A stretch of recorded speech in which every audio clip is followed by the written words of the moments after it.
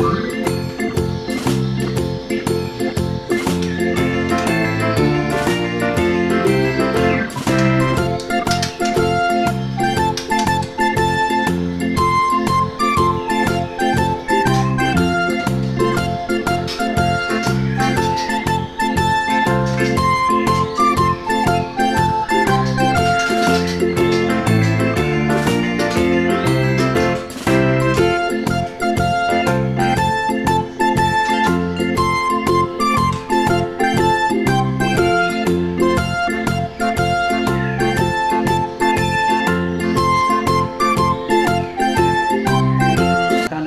betina perbedaannya. Sekarang kita akan lihat di trotolan usia 2 bulan.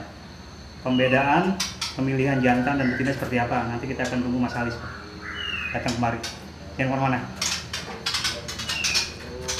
Ini usia 2 bulan, kurang lebih ya. 2 bulan.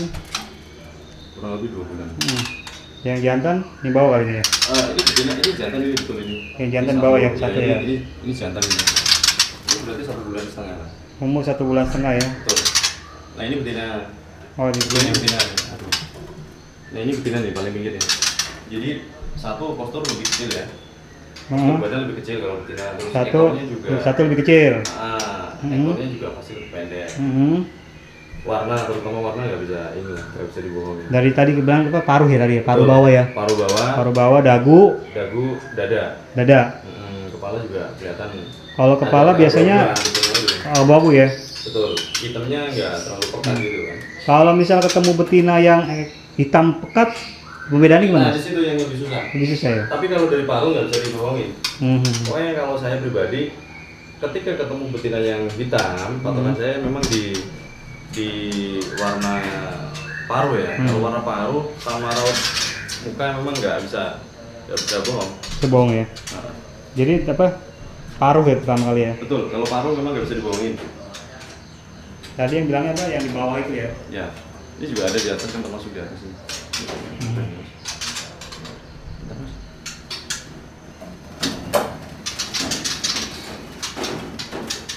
Ini semua adalah bibit trotolan ekor panjang di Indonesia. Ini kelihatan juga ini Hmm. Betina. Betina tuh ya. Nah, dadanya malah lebih putih kan. Lebih putih ya, Pudar, lebih kan? pudar ya Pudar. warnanya. Ini juga satu betina juga di bawah. Jantannya cuma satu yang ini. Hmm. Jantan satu. Jantan satu ya. Ah. Kelihatan banget perbedaannya. Jadi kepala mungkin yang betina bulat ya. Ya, agak kecil juga. Agak kecil ya? Kecil. ah. Sama dadanya put. Ada betina yang kepalanya gede juga ada. Ada juga ya? Ada, yang juga ada. Cuma Cuman yang bisa jadi patokan sekarang mungkin paruh kali mas ya. kalau saya pribadi paruh.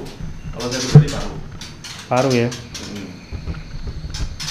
Termasuk kayak gini nih kan, ini betina-betina lepas rotol ini kan. Hmm. Nah ini betina-betina. Warnanya kan kan merahnya merah orange pudar gitu kan ya. Hmm. Ada dua, ini juga ada dua. Sama dari dada yang pudar ya. Pudar. Nah, terus warna hitamnya juga agak ke lalu-lalu abu-abu gitu kan. Ini kurang lebih satu setengah bulan sampai dua bulan ya. Kalau yang ini dorong ekor nih yang atas ini, yang kecil ini. Yang atas mah udah dewasa. Ya betul, ini umur sekitar 7 bulan. Dorong ekor belum selesai ini sebelahnya masih panjang kayak sebelah gitu kan. Ini betina ya. Betina. Oh apa namanya EP-nya belum? Iya betul kan. Enggak. eh, ekornya berapa banyak? Ini mungkin sekitaran 19 ya. Wih, ekor panjang tuh. Betina 19 cm. Kita 19 lah. Kemarin kan ada tiga jadi saya ambil satu itu 21. Hmm. Yang satu di 21 udah saya kondisiin. Jadi ekor panjang untuk betina nih. Jadi bagi yang mencari bibit ya untuk trotolan ekor panjang sini ke Putra Nusantara Farm atau disingkat PNF. Jadi kalau saya pikir murai terpanjang lah ya untuk ekor di Indonesia saat ini ada di Putra Nusantara Farm. Nanti kita akan lihat. Ya lumayan lah harganya.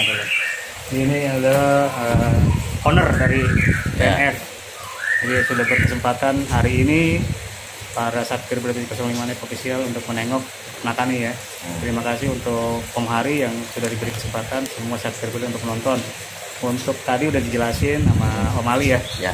apa trotolan, pemilihan bibit dan segala Ya. macamnya. Nah, Jadi mudah-mudahan bisa berkembang lah. Ya. Kalau dulu eh, ini kedatangan gua kedua kali Om ya. Ya. Kalau yang pertama bakal punya kamera seperti Om Hari. Yang kedua bakal punya rumah nih atau leader seperti Om Hari punya nih ikut tanya ya. Kita doain sama-sama. Oke, Oke. itu aja. Sakti dulu, terima kasih. Sampai ketemu lagi. Terima kasih. Terima kasih. Lagi men- mencoba super fit tuh.